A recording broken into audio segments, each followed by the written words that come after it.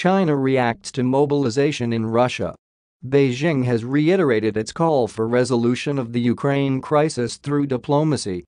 Beijing has responded to the announcement of partial military mobilization in Russia by calling for a peaceful settlement of the armed conflict in Ukraine.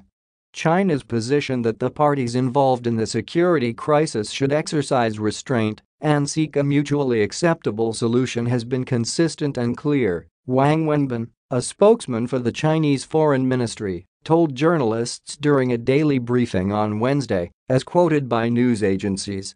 Russian President Vladimir Putin ordered the mobilization of some military reserve members on Wednesday. In a video address to the nation, he said the measure was necessary due to the situation in Ukraine, where Russian troops are facing the entire Western military machine. Defense Minister Sergei Shoigu said his department was seeking to enroll into active service some 300,000 reservists, prioritizing those with combat experience and certain professions required to sustain the Ukraine campaign. The troops will receive additional training before being fielded, the minister said.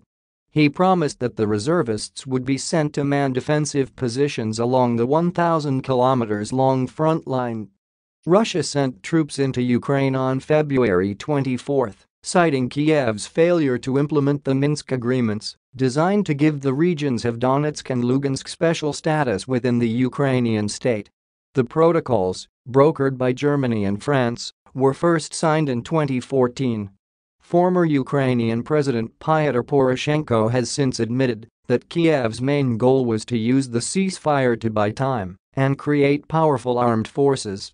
In February 2022, the Kremlin recognized the Donbas republics as independent states and demanded that Ukraine officially declare itself a neutral country that will never join any Western military bloc.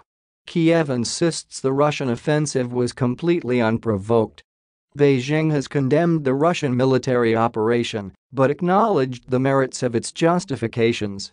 The Chinese government believes the expansion of NATO towards Russian borders served as a major cause of the hostilities.